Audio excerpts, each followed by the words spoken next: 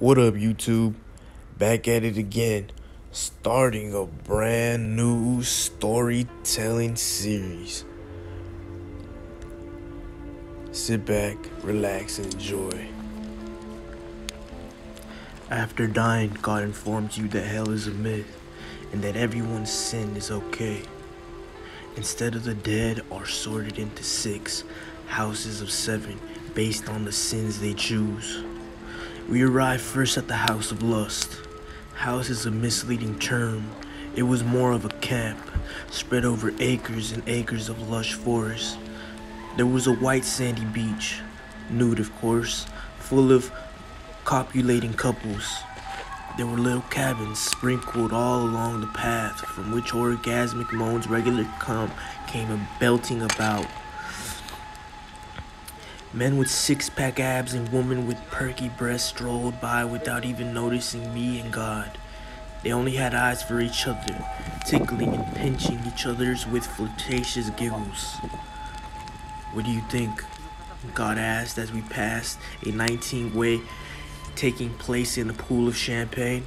Little cherubs flittered overhead armed with mops and cleaning supplies. Thankfully, lust is our most popular sin. I eyed the supermodels like figures of a couple passing nearby and could easily see why. You can never look however you want. Hell, you can be whoever, whatever gender you want. No fetish is too taboo, and no desire can be denied here. It was quite tempting, but I was ready to make a permanent decision here. Let's see the others, I told God. We carried on to greed. We passed the rows and rows of mansions, each more opulent than the next. Some of them were so large that they would have had enough rooms to fit my entire town. In so many different styles. One second, we were in a beautiful French vineyard in front of a gorgeous chateau with the Alps in the background. The next second, a warm tropical beach with the modern mansion atop breathtaking cliffs. After that, a ski chalet in the Colorado with a roaring fire in a hearth large enough to fit on an ox. Each one had various Italian sports cars and Rolls Royce parked in front with occasional smatterings of boats, helicopters, etc. Any material desire you ever wanted, God explained. Your own world, where you have everything. You want the Hope Diamond? You can fly to Washington, D.C. in your own solid gold helicopter and buy it from the Smithsonian. Hell, you could just buy the Smithsonian. Also tempting, but I decided to keep looking. Gluttony was up next. Tables and tables of the very finest foods. Beautiful steaks cooked medium rare, butter poached lobster tail, French oysters on a half shell, exotic wines and dusty bottles that had been hiding in the cellars of the world's finest restaurants. Everyone had a glass of champagne in hand and simply lounged on couches and chairs near the tables, eating endlessly. As soon as inhabitants took a bite, the food just instantly came back. My mouth watered even watching them. In every other house, the food is particularly sawdust compared to gluttony, God explained.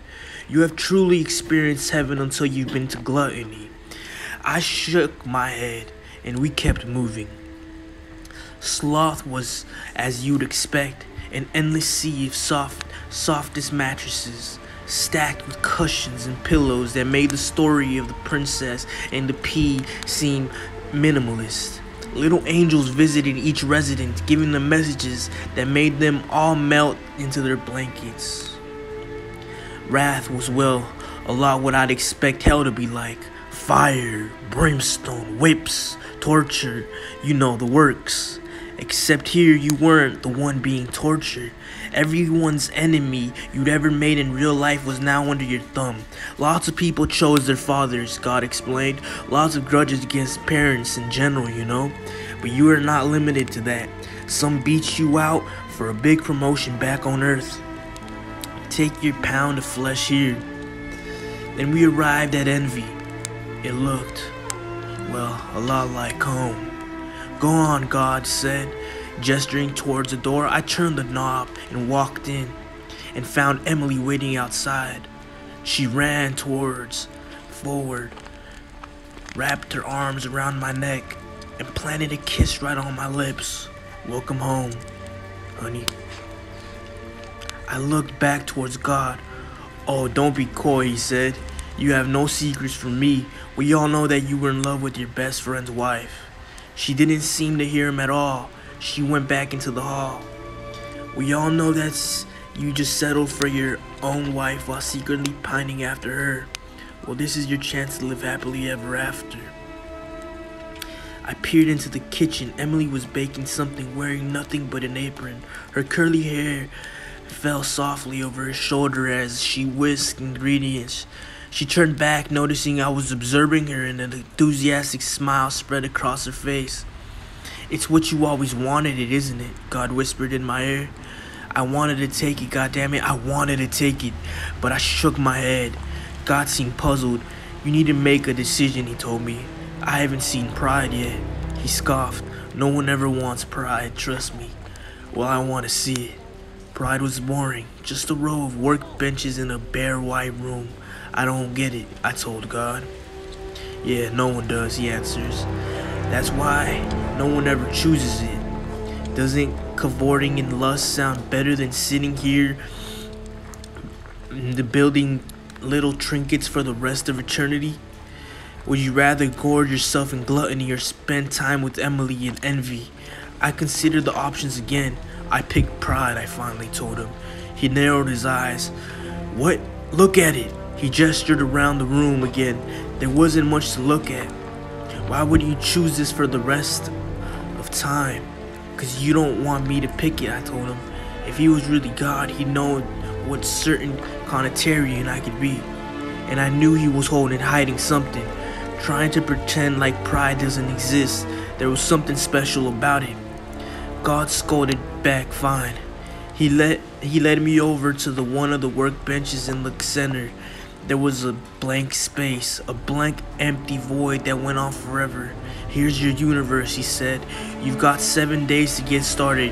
He took his seat at the bench next to me and went back to tinkering in his own world. After a long pause, he spoke to me finally again. You know, it might be nice for me to actually have some company for once.